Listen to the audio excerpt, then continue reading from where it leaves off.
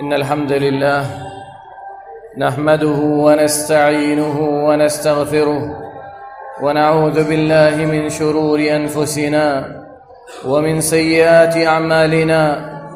من يهده الله فلا مضل له ومن يضلل فلا هادي له. وأشهد أن لا إله إلا الله وحده لا شريك له. وأشهد أن محمدًا عبده ورسوله. يا أيها الذين آمنوا اتقوا الله حق تقاته ولا تموتن إلا وأنتم مسلمون. يا أيها الناس اتقوا ربكم الذي خلقكم من نفس واحدة وخلق منها زوجها وبث منهما رجالا كثيرا ونساء. واتقوا الله الذي تساءلون به والأرحام. إن الله كان عليكم رقيبا. يا أيها الذين آمنوا قولوا قولا سديدا. يصلح لكم أعمالكم ويغفر لكم ذنوبكم. ومن يطع الله ورسوله فقد فاز فوزا عظيما. أما بعد فإن أصدق الحديث كتاب الله وخير الهدي هدي محمد صلى الله عليه وسلم وشر الأمور محدثاتها وكل محدثة بدعة. وكل بدعة ضلالة وكل ضلالة في النار. أعوذ بالله السميع العليم من الشيطان الرجيم. وقل لعبادي يقول التي هي أحسن. عن أنس بن مالك رضي الله عنه قال قال رسول الله صلى الله عليه وسلم لا يستقيم إيمان عبد حتى يستقيم قلبه ولا يستقيم قلبه حتى يستقيم لسانه ولا يدخل ولا يدخل الجنة رجل لا يأمن جاره بوائقه. رواه أحمد والحديث حسن. بزرگان دین و ملت عزیز ساتھیوں دوستوں اللہ رب العالمین کے فضل و کرم سے ہم اور آپ اس مسجد کے اندر جمع ہیں۔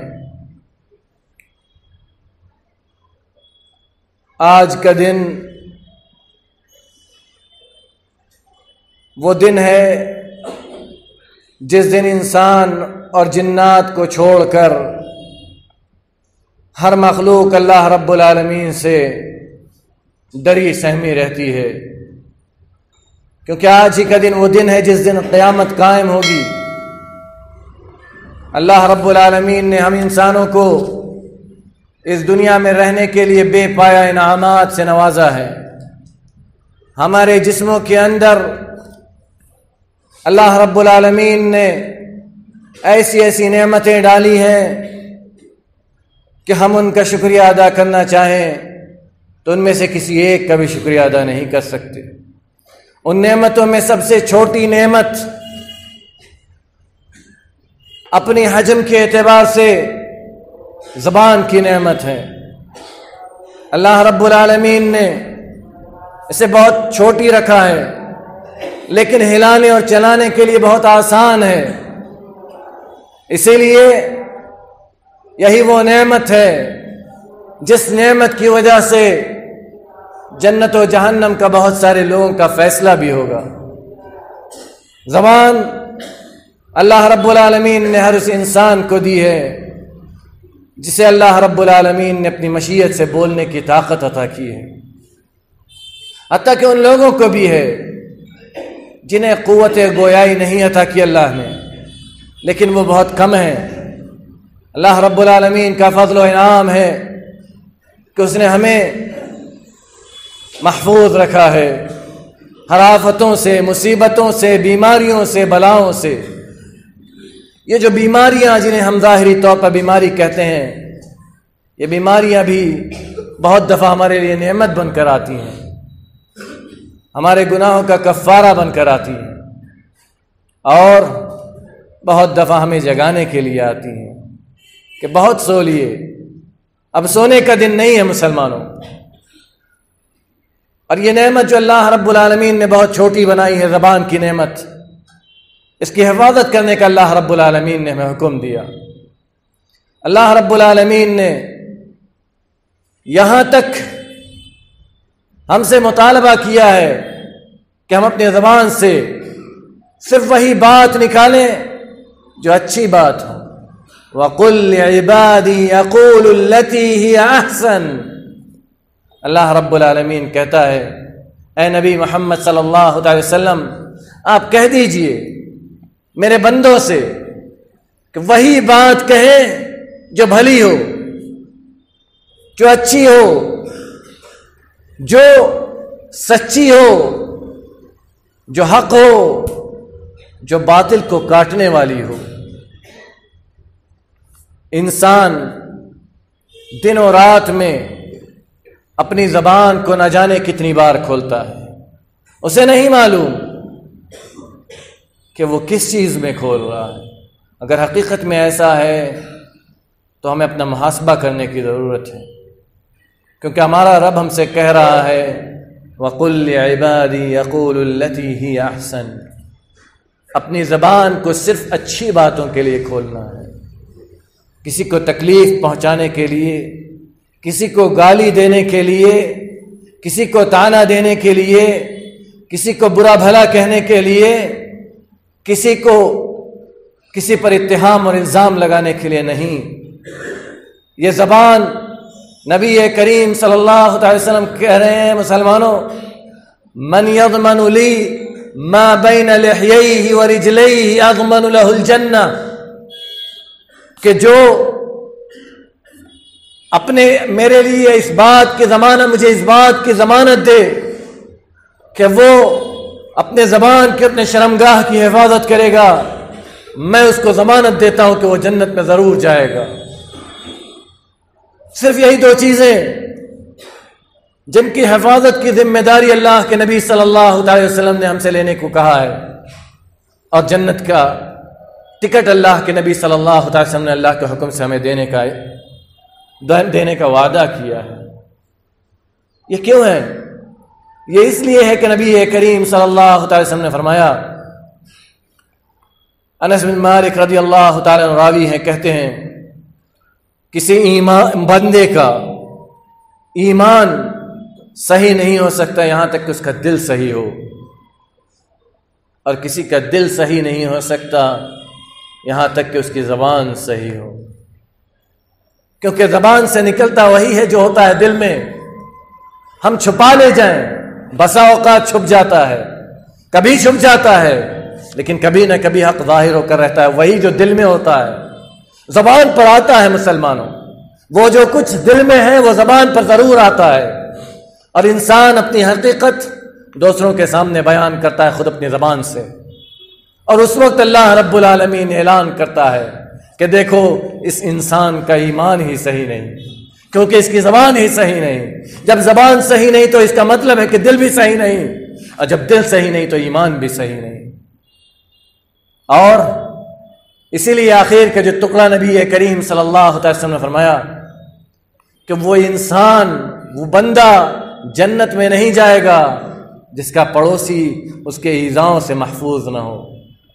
جو انسان اپنے پڑوسی کو تکلیف پہنچائے، وہ انسان جنت میں نہیں جائے گا۔ یہ ہماری اور آپ کی بات نہیں مسلمانوں۔ یہ رسول معصوم صلی اللہ تعالی وسلم کی زبان ہے۔ یہ وہ وحی کے کلمات ہیں جو معصوم عن الخطا رسول کی زبان سے ادا ہوئے ہیں۔ یہ وہ کلمات ہیں جنہیں اللہ رب العالمین نے اپنے نبی سے ادا کروائے اور وہ نبی لا ينطق عن الهوى، ان هو الا وحی یوحا۔ وہ نبی جو اپنے نفسانی خواہشات سے اپنی زبان پر کوئی چیز نہیں لاتا۔ وہ جب بھی بولتا ہے تو اللہ کی وحی کے ذریعے سے بولتا ہے۔ اس کو معلوم ہے کہ میں جو کچھ کہہ رہا ہوں، دین کی بات، وہ شریعت ہے۔ وہ اللہ کی ہے۔ اللہ رب العالمین نے مجھ سے وعدہ لے رکھا ہے کہ مجھے جو کچھ اللہ نے دیا ہے وہ اللہ کے بندوں تک پہنچانا ہے۔ اگر میں نے نہیں پہنچایا یا پہنچانے میں خلل کیا تو اللہ رب العالمین مجھے معاف نہیں کرے گا اور میں نے اپنی رسالت کا حق بھی نہیں ادا کیا۔ اسی لیے اللہ کے نبی صلی اللہ تعالی وسلم نے اجت الوداع کے موقع پر تمام صحابہ کرام کو گواہ بنا لیا تھا کہ بتاؤ میں نے اپنی نبوت تم تک پہنچا دی کہ نہیں؟ سارے صحابہ کرام نے ایک زبان کہا تھا کہ آپ نے پہنچا دی۔ صلی اللہ تعالی وسلم۔ اسی نبی کے زبان سے نکلے یہ کلمات ہیں مسلمانوں کہ جس کا زبان جس کی زبان صحیح نہیں، اس کا دل بھی صحیح نہیں اور جس کا دل صحیح نہیں، اس کا ایمان بھی صحیح نہیں۔ اسی لیے نبی کریم صلی اللہ تعالی وسلم نے فرمایا، مسلمانوں معاذ رضی اللہ تعالیٰ کی لمبی حدیث ہے۔ کہتے ہیں نبی کریم صلی اللہ تعالی وسلم سے میں نے جنت میں داخل ہونے والے عمل کے بارے میں سوال کیا۔ آپ صلی اللہ تعالی وسلم نے ساری چیزیں بتلانے کے بعد مجھ سے کہا، کیا میں تمہیں ان سب کو ایک جگہ نہ بتلا دوں؟ کہا ہاں ضرور بتلا دیجیے۔ تو کہا، کف کہا اپنے زبان کی طرف اشارہ کر کے کہا اپنی زبان کو پکڑ لو، اس کو بند کر لو، وہیں کھولو جہاں حق ہے۔ اس کے علاوہ نہیں، سچی بات بولو جب بھی بولو۔ جھوٹ سے پرہیز کرو، کیونکہ جھوٹا انسان یہ مومن نہیں ہو سکتا۔ جھوٹا انسان مومن نہیں ہو سکتا۔ کسی کذاب کے اوپر ایمان کا کی مہر چسپا نہیں ہو سکتی۔ اور زبان سے نکلنے والے کے کلمات ہم نہیں جانتے کہ وہ کہاں جا رہے ہیں۔ لیکن یا تو ہمارے لیے جنت کا سودا ہے یا جہنم کا سودا ہے۔ نبی کریم صلی اللہ تعالی وسلم فرمایا، ابو حریر رضی اللہ تعالی راوی ہیں کہتے ہیں کہ نبی کریم صلی اللہ تعالی وسلم فرمایا کہ ان العبد لا يتكلم بالكلمة من رضوان الله، لا يلقي لها بالا، يرفعه الله بها درجات۔ کہ ایک بندہ اللہ کا ایک بندہ اللہ کے رضامندی کا کوئی کلمہ زبان سے بولتا ہے، اسے پتہ نہیں ہوتا، وہ اس کی اہمیت کو نہیں سمجھتا۔ لیکن اللہ رب العالمین اس کے ذریعے سے اس کے درجات کو جنت میں بڑھا دیتا ہے۔ اور بندہ اللہ رب العالمین کی ناراضگی کے کلمات زبان سے نکالتا ہے اور اسے اس کو کوئی اہمیت نہیں دیتا۔ لیکن اس کے ذریعے سے اللہ رب العالمین یا حفی جہنم اس کے ذریعے سے اللہ رب العالمین اس کے جہنم کا فیصلہ کر دیتا ہے۔ اس کے جہنم کا فیصلہ کر سک کر دیتا ہے۔ صرف ایک کلمہ، نبی کریم صلی اللہ وسلم کے ان کلمات پر غور کرو مسلمانوں۔ صرف ایک کلمہ جو ہماری زبان سے نکلا ہمارے لیے جنت کے جہنم کا فیصلہ کرنے کے لیے کافی ہے۔ تو ہمیں اپنے زبان سے کیا نکالنا ہے؟ معاذ رضی اللہ تعالیٰ سے نبی صلی اللہ تعالی وسلم کہہ رہے ہیں، کف علیہ کہا زبان کو اپنے پکڑ لو۔ اپنے زبان پر قابو کر لو۔ معاذ رضی اللہ تعالیٰ نے کہتے ہیں، یا ربی اللہ وَإِنَّا لَمُوَاخَذُونَ بِمَا نَتَكَلَّمُ بِهِ۔ کیا ہم جو بولتے ہیں اللہ رب العالمین، اس پر بھی ہماری گرفت کرے گا؟ جو ہم بول رہے ہیں، ہم جو زبان سے ادا کر رہے ہیں۔ اللہ نے ہمیں قوت گویائی دی ہے، ہمیں مالک بنایا ہے بولنے کا۔ اپنے ارادے، اپنی مشیت اپنے حکمت سے ہمیں بولنے کی طاقت دی ہے اپنے قوت سے۔ ہم بول رہے ہیں، کیا اس پر بھی اللہ ہمارا مواخذہ کرے گا؟ نبی کریم صلی اللہ علیہ وسلم کہتے ہیں، ثقلت کا امک یا معاذ۔ اے معاذ، تمہیں تمہاری ماں گم کر دے۔ تمہاری ماں تمہیں گم کر دے۔ کیا لوگ اپنے منہ کے بل یا الٹے منہ جو جہنم میں ڈالے جائیں گے، ان میں اکثریت کن کی ہوگی؟ انہی لوگوں کی جنہوں نے اپنے زبان کو قابو میں نہیں رکھا ہوگا۔ انہی لوگوں کی ہوگی، جنہوں نے اپنی زبان کو قابو میں نہیں رکھا ہوگا مسلمانوں۔ ہمارا آپ اپنی زبان پر کتنا قابو رکھتے ہیں، یہ ہمارا آپ اچھی طرح جانتے ہیں۔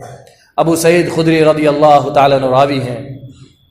کہتے ہیں کہ نبی کریم صلی اللہ تعالی وسلم نے فرمایا کہ ہر صبح جب ابن آدم آدم کا بیٹا جب صبح کرتا ہے، اس کے تمام اعضاء، جسم کے تمام آوا زبان سے کہتے ہیں، زبان کو پھٹکار لگاتے ہیں، زبان کو۔ تمام آزائے جسم زبان کو پھٹکار لگاتے ہیں اور کہتے ہیں، ان استقمتا استقمنا و ان وججتا وججنا اگر تو صحیح سالم رہی، تو نے اپنے آپ پر قابو رکھا، تو ہم سب اپنے آپ پر قابو رکھ لیں گے۔ اگر تو ٹیڑھی ہو گئی، تو نے اپنے آپ پر قابو نہیں رکھا، تو ہم سب بھی اپنے آپ پر قابو نہیں رکھ سکتے۔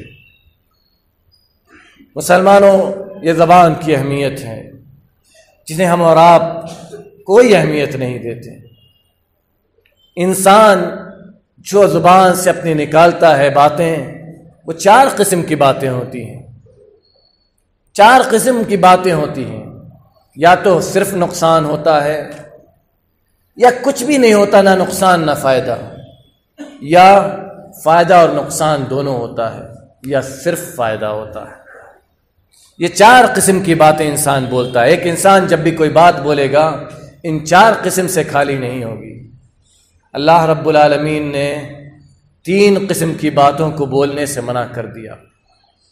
وقل عبادی یقول التی ہی احسن بس، نہ تو نقصان دہ بات بولنا ہے، نہ وہ بات بولنا ہے جس میں نہ نقصان ہے، نہ فائدہ، نہ وہ بات بولنا ہے جس میں نقصان بھی اور فائدہ بھی۔ صرف وہ بات بولنی ہے جس میں فائدہ ہے۔ وہ کل عبادی یقول التی ہی احسن میرے بندوں سے کہہ دو کہ جب زبان کھولیں تو اچھی بات بولیں۔ اسی کو نبی کریم صلی اللہ علیہ وسلم نے فرمایا کہ جو بولنا چاہے تو وہ اچھی بات بولے یا چپ رہے۔ ابو بکر صدیق رضی اللہ تعالیٰ عنہ کون مسلمانوں؟ ابو بکر صدیق خلیف اول، وہ خلیف راشد، جس کے بارے میں نبی کریم صلی اللہ تعالی وسلم نے کہا کہ اس دنیا کے اندر جتنے لوگوں نے مجھ پر احسان کیا میں نے سب کے احسان کا بدلہ چکا دیا سوائے ابو بکر کے احسان میں نے ان کا احسان کا بدلہ نہیں چکایا، ان کے احسان کا بدلہ ان کا رب چکائے گا۔ وہ ابو بکر صدیق رضی اللہ تعالی عنہ، جن کے بارے میں نبی کریم صلی اللہ تعالی وسلم نے اعلان کیا کہ ابو بکر صدیق میرے سب سے محبوب ہیں۔ ابو بکر صدیق میرے قریبی ہیں یار غار ہیں۔ سب کچھ کے باوجود ابو بکر صدیق کہتے ہیں رضی اللہ تعالی عنہ، ان هذا لا الموارد اپنی زبان کو پکڑ کر کہتے ہیں، ان لا اردن الموارد میری یہ زبان ہے جو مجھے ہلاکت کے پاس لے جاتی ہے۔ ابو بکر صدیق رضی اللہ تعالیٰ عنہ، وہ صحابی جلیل جس کو دنیا میں جنت کی بشارت مل چکی، وہ صحابی جلیل جس سے اللہ رب العالمین نے اپنی رضامندی کا اعلان بھی کر دیا۔ وہ صحابی جلیل، جس کے بارے میں نبی کریم صلی اللہ تعالی وسلم نے اپنے خلت کا بھی اعلان کیا کہ اگر کوئی میرا خلیل ہوتا تو ابو بکر ہوتے، میرا دوست تو صرف اللہ۔ لیکن میرے یار غار ہیں، میرے بھائی ہیں۔ ابو بکر صدیق رضی اللہ تعالیٰ عنہ، جس کے ذریعے سے نبی کریم صلی اللہ تعالی وسلم نے اپنی جگہ پر امامت کو کے لیے کھڑا کی، امامت کو پورا کروایا۔ وہ ابو بکر صدیق کہہ رہے ہیں کہ میری زبان مجھے ہلاکت تک پہنچا دیتی ہے۔ مسلمانوں، ہمیں اپنی زبان کی کتنی حفاظت کرنی ہے، یہ ہم اور آپ اچھی طرح سمجھ سکتے ہیں۔ لیکن ہم کتنی حفاظت کرتے ہیں، یہ ہم اور آپ اچھی طرح جانتے ہیں۔ زبانیں کھلتی ہیں، کس چیز کے لیے کھلتی ہیں، یہ ہم اور آپ سب جانتے ہیں۔ نبی کریم صلی اللہ تعالی وسلم فرماتے ہیں، سباب المسلم فسوق قتال کفر. کسی مسلمان کو گالی دینا فسق ہے اور اس سے جنگ کرنا یہ کفر ہے. جو گالی دے کسی مسلمان بھائی کو اپنے، اپنی زبان سے گالی نکالے، وہ یہ سمجھ لے کہ اس پر فسق کا لیبل نبی کریم صلی اللہ علیہ وسلم لگا رہے مسلمان. اور جب فسق کا لیبل نبی کریم صلی اللہ علیہ وسلم کی طرف سے ملا ہے، تو ہمارا آپ سمجھ سکتے ہیں کہ ہمارا ٹھکانہ کیا بننے والا ہے۔ اسی لیے اللہ رب العالمین نے کہا، ان اللہ اشترا اللہ رب العالمین نے خرید لیا ہے مومنین سے۔ ان کے جان و مال کے بدلے میں، ان کے جان و مال کو خرید لیا ہے جنت کے بدلے میں۔ ہمیں یہ فیصلہ کرنا ہے کہ ہم اللہ رب العالمین سے اپنی جان و مال کے بدلے جنت کا سودا کرنا ہے یا اپنے مسلمان بھائی کے عزت کے بدلے جہنم کا سودا کرنا ہے۔ یہ فیصلہ ہمارے ہاتھوں میں۔ ان ہم جمعہ کے نماز، فجر کی نماز میں سنتے ان حدینہ سبیر اما شاکر و اما کفورا سورہ دہر، سورہ انسان کی یہ دونوں آیتیں۔ اللہ رب العالمین کہتا میں نے تو راستے دکھا دیے۔ میں نے تمہیں بتا دیا کہ یہاں ہدایت ہے، یہاں دلالت ہے۔ یہاں کامیابی و کامرانی ہے، یہاں ناکامی و نامرادی ہے۔ یہاں چلو گے تو کامیاب رہو گے، یہاں چلو گے تو ناکام و نامراد رہو گے۔ اب فیصلہ تمہارا ہے۔ تم یہاں چلتے ہو یا یہاں چلتے ہو؟ سیدھا خط نبی کریم صلی اللہ تعالی وسلم بنانے کے بعد کہتے ہیں، دیکھو یہ وہ سیدھا خط ہے جو تمہیں تمہارے لیے جو سرات مستقیم ہے۔ ادھر ادھر کے خط کو نہ کے چکر میں نہ پڑھنا کیونکہ یہ تمہیں کہاں پہنچائے گا؟ یہ تم اچھی طرح جانتے ہو۔ اللہ رب العالمین وہ انسان جو بہت زیادہ بولتا ہے، وہ اپنی زبان کی حفاظت بہت مشکل سے کر پاتا ہے۔ اسی لیے اللہ رب العالمین کہتا ہے، لا خیر فی کثیر من نجواہم۔ لا خیر فی کثیر من نجواہم۔ الا من امر بصدقت او معروف او اصلاح بین الناس۔ بہت ساری جو کنفسکیاں لوگ کرتے ہیں، بیٹھے رہتے ہیں آپس میں، دوسرے سے بات کو چھپانے کے لیے کنفسکی دھیرے دھیرے بات کرتے رہتے ہیں، اسی کو نجوا کہتے ہیں۔ دھیرے دھیرے بات کرنا، راز کی بات کرنا۔ لا خیر فی کثیر من نجواہم۔ ان کی بہت ساری اکثر کنفسکیوں میں خیر نہیں ہوتا۔ الا من امر بصدقت او معروف۔ مگر ہاں جب کسی بھلائی کا حکم دے، صدقہ کرنے کا حکم دیں اچھا کام کرنے کا حکم دیں لوگوں میں اصلاح کا کام کریں، لوگوں کی بھلائی کی باتیں کریں بس اسی کے اندر خیر ہے۔ اسی لیے نبی کریم صلی اللہ علیہ وسلم فرمایا کہ من كان يؤمن بالله واليوم الآخر فليقل خيرا او ليصمت جو اللہ پر اور آخرت کے دن پر ایمان رکھتا ہے، تو یا تو اچھی بات کہے یا اپنی زبان کو بند کر لے۔ بولنے کی ضرورت نہیں ہے مسلمانوں، بہت زیادہ۔ صرف وہ باتیں بولو جس میں بھلائی ہے۔ کس کے لیے؟ دوسروں کے لیے یا خود کے لیے؟ ان دو باتوں کے علاوہ کبھی تیسری بات کرنے کے بارے میں انسان کو سوچنی بھی نہیں چاہیے۔ یا تو اس کے اپنے بھلے کی بات ہے۔ دنیا، دنیاوی فائدہ صرف نہیں، جو مطلب پرستی جسے کہتے ہیں، وہ نہیں مقصود ہے۔ دینی اور اخروی فائدہ مراد ہے یعنی صحیح بات کرنا۔ صحیح بات کرنا۔ چاپلوسی، دھوکہ دڑی جھوٹ، ریاکاری، کذب بیانی، غلط بیانی، اتہام، گالی گلوچ، یہ سب کچھ ہماری علامت ہے مسلمانوں، اور یہی ہماری علامت ہے ہمارے پچھڑے ہونے کی۔ یہی علامت ہے ہمارے کمزور اور بزدل ہونے کی۔ کیونکہ ایک وہ ایمان، انسان جس کے اندر ہمت ہے، جو جوا مرد ہے، وہ جھوٹ سے اپنا کام نہیں چلاتا۔ وہ جھوٹ سے اپنا کام نہیں چلاتا، وہ سچ بولتا ہے، وہ حق بولتا ہے، وہ منہ پر بولتا ہے، بڑے سے کڑوی ہوتی ہے۔ کیوں؟ الحق مر۔ حق ہمیشہ کڑوا لگتا ہے۔ جب بھی آپ سچی بات کریں گے، حق بولیں گے، آپ اور ہم سب ایک ہی معاشرے کے بندے ہیں۔ ہمارا معاشرہ کیا ہے؟ ہم عام آدمی کو چھوڑ دیں۔ خطیب خطبہ دینے کے لیے جب کھڑا ہوتا ہے، تو ہماری نظر کس چیز پر ہوتی ہے؟ وہ کیا بول رہا ہے؟ کہیں ایسا تو نہیں کہ میں اس کی بات میں پھنس رہا ہوں؟ کہیں ایسا تو نہیں کہ اس بات پر وہ نشاندہی کر رہا ہے جو میرے اندر ہے؟ کہیں ایسا تو نہیں کہ میری ہی برائی کو بیان کر رہا ہے؟ مسلمانوں، اگر ایسا ہے، محسوس ہو رہا ہے کہ وہ میری ہی برائی کو بیان کر رہا ہے تو اس کی اصلاح کرنے کی ضرورت نہ یہ کہ اس سے یہ کہیں کہ آج آپ نے میرے اوپر جمعہ کیوں پڑھایا۔ یا مقرر سے کہیں آپ نے خود آپ نے خطاب آج میرے اوپر کیوں کیا۔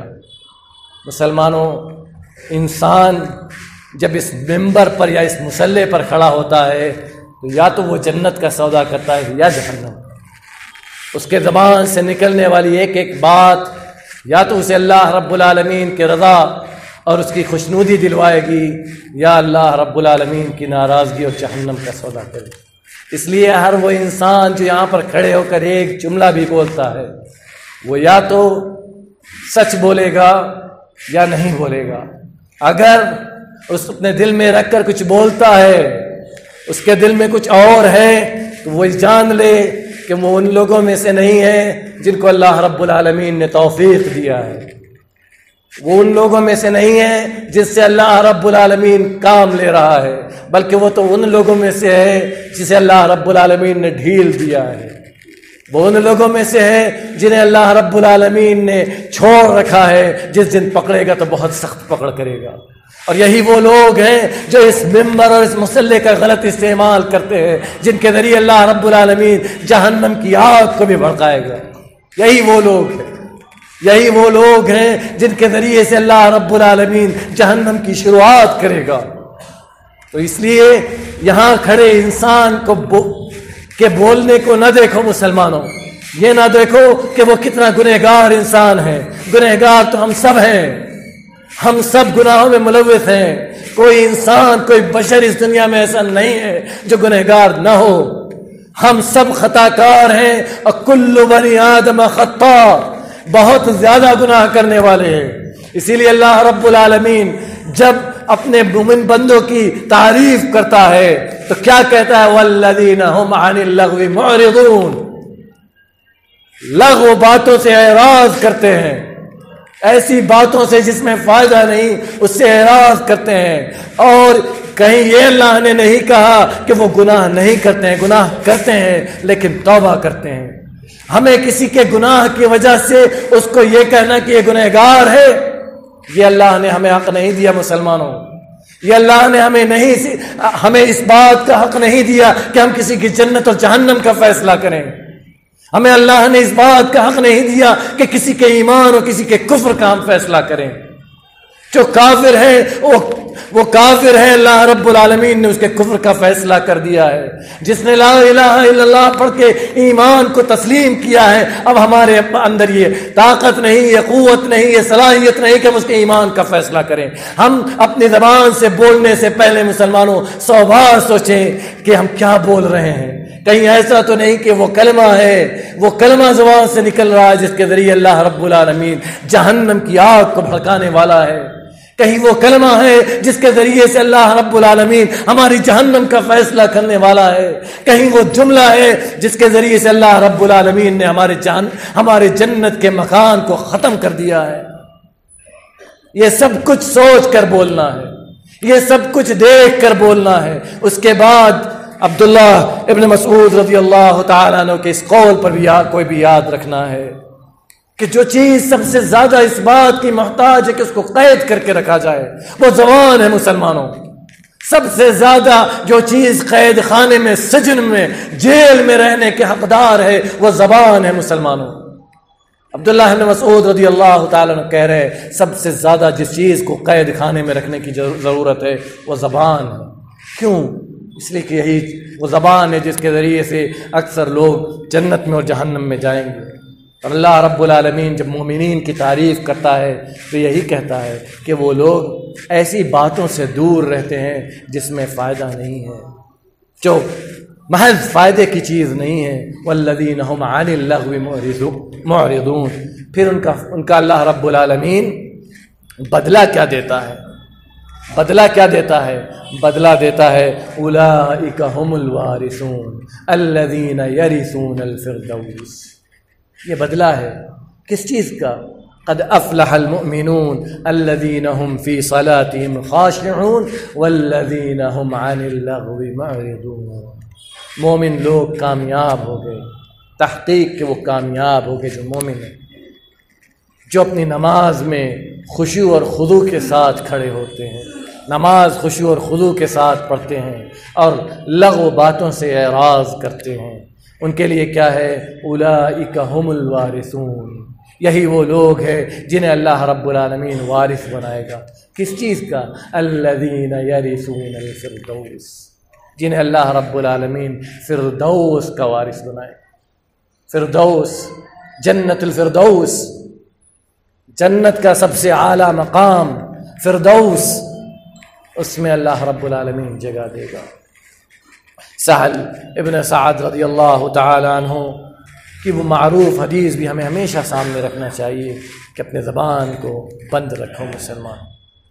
یہ ورا یہ نہیں ہے کہ ہم بولیں نا تقوی یہ نہیں ہے کہ ہم بولیں نا لیکن بولیں تو جو بولے وہ جان کر بولیں کہ کیا بول رہے ہیں اور جس سے بول رہے ہیں اس کو اس کا حق دیں۔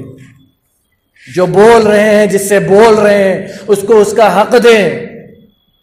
کیوں؟ کیونکہ اللہ رب العالمین نے جنت میں ایک ایسا کمرہ بنا کے رکھا ہے، جس کا، جس کے اندر کی نعمتیں باہر سے دکھائی دیتی ہیں اور باہر کی نعمتیں اندر سے دکھائی دیتی ہیں۔ یہ کمرہ کن لوگوں کے لیے ہے؟ ان لوگوں کے لیے ہے جنہوں نے غریبوں مسکینوں کو کھانا کھلایا اور اپنی زبان پر قابو رکھا، نرم گفتگو کیا۔ نرم گفتگو کیا۔ حق بات بولا، سچ بات بولا، جھوٹ سے پرہیز کیا۔ کسی پر اتہام نہیں لگایا، کسی پر بہتان نہیں لگایا۔ غیبت اور چگلی نہیں کی۔ بہتان تراشی سے دور رہے۔ مسلمانوں اللہ رب العالمین ہم سب کو کہنے اور سننے سے زیادہ عمل کرنے کی توفیق عطا فرمائے۔ الہ العالمین، تو ہم سب کو معاف کر دے۔ جب تک اس دار فانی میں زندہ رکھ، اسلام پر عقید توحید کے ساتھ زندہ رکھ، ہمارے دلوں کو آپس میں ملا دے متحد کر دے، متفق کر دے۔ الہ العالمین، ہم میں سے جو لوگ بیمار ہیں، ان کو ان کی بیماری سے شفا کامل عاجر عطا فرما۔ جو بے روزگار ہیں، ان کو روزگار والا بنا دے۔ جو روزگار والے ان کو روزگار میں برکت عطا فرما۔ حلال رزق عطا فرما۔ حرام سے دور رکھ۔ حلال رزق عطا فرما، حرام سے دور رکھ۔ ہر قسم کی پریشانیوں سے، مصیبتوں سے، بلاؤں سے، بیماریوں سے محفوظ رکھ۔ ہمارے والدین کو صحت و عافیت والی زندگی عطا فرما۔ ہم میں سے جن کے والدین یا ان میں سے کوئی ایک بیمار ہیں الہ العالمین، تو ان کی بیماریوں سے شفا کامل عاجل عطا فرما۔ جن کے والدین یا ان میں سے کوئی ایک اس دنیا سے جا چکے ہیں، الہ العالمین، تو ان کی قبروں کو نور سے بھر دے، ان کی قبروں کو تحد نظر وسیع کر دے، ان کی قبروں کو جنت کی کیاری بنا دے۔ جب تک اس دار فانی میں زندہ رکھ عقید توحید پر قائم و دائم رکھ، سچ بولنے والا بنا کر رکھ، اپنے نبی کا سچا پکا متبع بنا کر زندہ رکھ، اور جو ہمارا خاتمہ ہو تو خاتمہ بخیر ہو۔ وہ صلی اللہ علیہ نبینا محمد وعلیٰ علیہ وصحب وسلم۔